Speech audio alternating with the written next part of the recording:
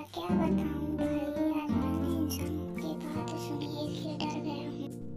वो बोल रहे थे कि होली के दिन दारू के साथ साथ हम लोग मुर्गा और खसी भी बनाकर पेट भर कर खाएँगे। बस यही बात सुनकर मैं काफ़ी डर गया हूँ भाई, इसलिए भाग रहा हूँ।